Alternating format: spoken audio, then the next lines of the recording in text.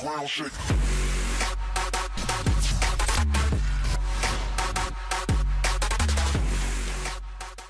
Hey there guys, uh, welcome to another video. My name is Sparckman. Today we're going to import an animated sprite into Unity. First we have to create the animated sprite. So let's go to Crazy Talk Animator 3. Now if you don't have Crazy Talk Animator 3, there is a link down below.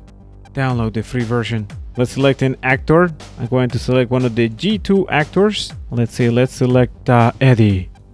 Yeah, let's select Eddie. Here's Eddie and uh, let's go to 3D. Where is 3D? Oh, here is 3D. Let's drag this to rotate our character. And that looks good there. It looks like a platformer game already. Let's close that. And uh, let's flip him horizontally. I'm going to zoom in a little bit. I'm gonna click on animation. And let's find an animation for him. See, we're gonna use uh, walking. It's here somewhere.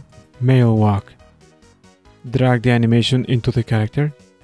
Whoa, and he walks right away. This is uh, 40 frames at 30 frames per second. Uh, you can set this to 12 if you wanted to, but we can do that when we export the uh, animation. Let's go to render image and uh, let's set the output to 640 by 720. Well, that's maybe a little too big. Uh, let's try 500 by 720. That's much better. And uh, we can leave the frame rate at 30 now for the range we're going to go from 1 to 40 frames. And uh, for the format let's make sure that we have PNG and that is because PNG has transparency. Render hidden objects no. Here are the frames. We have 40 frames in total and let's bring them into Unity. Let's make a new folder first. Call it um, animation. Double click on it and let's drag our frames inside the folder.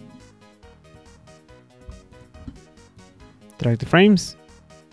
Let's select all the frames and let's convert them to sprite 2d make sure that uh, generate mip map is not on. Okay that's for 3d stuff. Let's hit apply. Whoa that was fast and let's drag our character into the screen let's call this uh, walking we're gonna press the play button. And whoa, there is our animation.